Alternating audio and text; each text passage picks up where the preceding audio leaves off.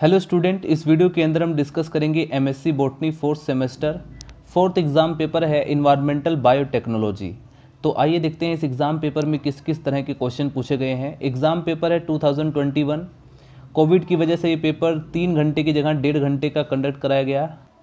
Maximum marks 50 और timing आप देख सकते हैं। डेढ़ घंटा। सेक्शन ए में देखिए, देखते हैं किस किस तरह के क्वेश्चन पूछे गए हैं।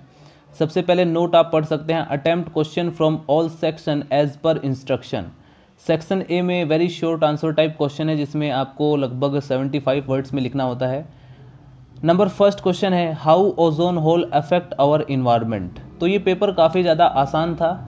लगभग ये बीएससी या ट्वेल्थ लेवल का एग्ज़ाम पेपर था, जिसमें पहला क्वेश्चन है how ozone hole affect our environment number second question है व्हाट इज़ बायोडाइवर्सिटी बायोडाइवर्सिटी क्या है और इसके बाद देखते हैं नंबर थर्ड क्वेश्चन है what is the genetically modified food number four question है what is eutrophication and number five question है name the green house gases इसके बाद सेक्शन बी में क्वेश्चन पूछा गया है, जो कि यहाँ पर शॉर्ट क्वेश्चन है, लेकिन कम से कम आपको 200 वर्ड्स में लिखना होगा।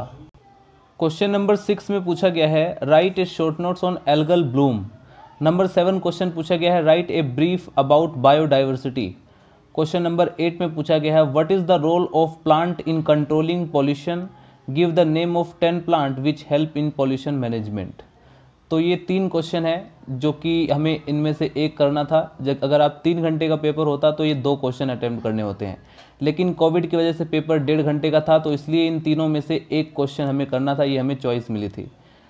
सेक्शन सी में पूछा गया है यहाँ पर लॉन्ग क्वेश्चन लॉन्ग क्वेश्चन में काफ़ी डिटेल में आपको एक्सप्लेन करना होता है। इसमें दो क्वेश्चन हमें करने होते हैं, लेकिन अगर तीन घंटे का पेपर है तो तीन क्वेश्चन हमें अटैम्प्ट करने होते हैं। एक क्वेश्चन यहाँ पर पंद्रह नंबर में दिया गया है, और जनरली दस नंबर का होता है क्वेश्चन अगर तीन घंटे का पेपर होता तो।